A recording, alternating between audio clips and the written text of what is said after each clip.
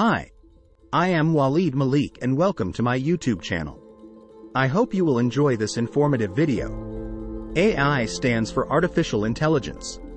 It is a branch of computer science that aims to create intelligent machines that can perform tasks that would typically require human intelligence, such as learning, problem solving, and decision making. AI systems work by utilizing a combination of algorithms, data, and computer processing power to simulate human-like behavior.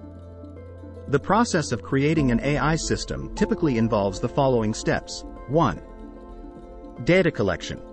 Gathering large amounts of data relevant to the AI task.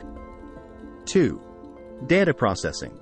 The data is cleaned, organized, and pre-processed to create a training dataset. 3.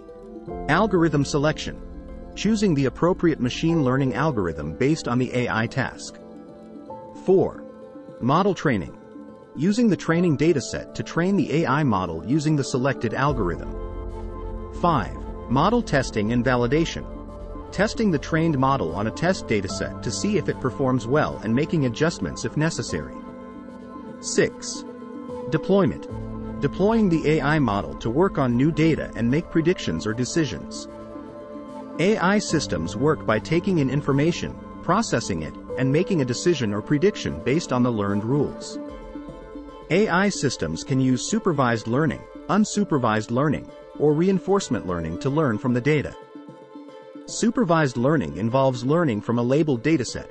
Unsupervised learning involves learning from an unlabeled dataset, and reinforcement learning involves learning by receiving feedback in response to previous decisions.